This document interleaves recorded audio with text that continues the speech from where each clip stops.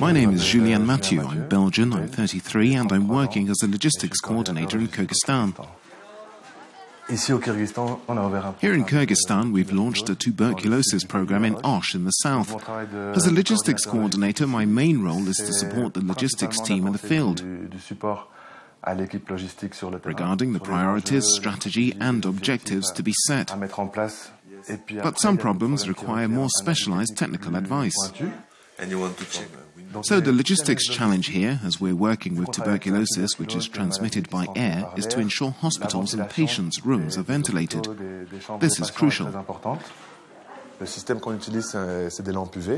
We use UV lamps. These kill the bacillus only in the upper part of the room.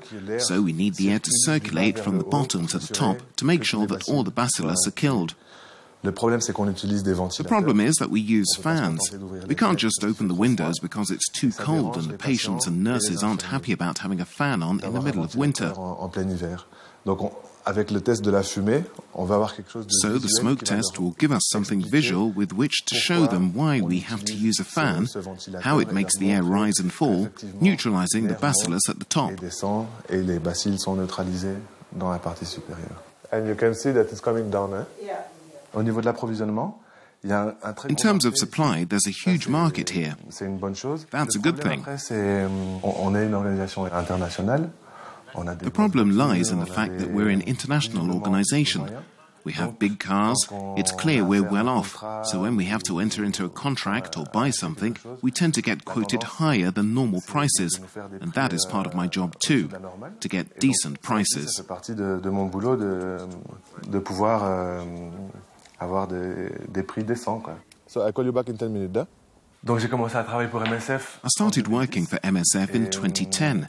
And in 2011 2012, I met my euh, wife. We've been here one year now. Ici au Kyrgyzstan, here in Kyrgyzstan, it's the context that's difficult. It's especially hard for my wife, who's Tanzanian. It's the cold, the language, the cultural codes are different. And yes, you can have a family and still be a humanitarian worker, but it depends a lot on your partner.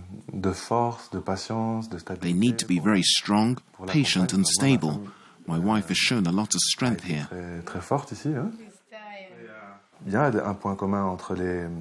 Humanitarian workers have something in common, and I think it's that they're people who seek out intensity. In my case, it was the pursuit of intensity and of an ideal. Now I've truly found my path. I'm truly fulfilled. I do what I love, and I do something I'm good at as well. I found my place, you know, my niche.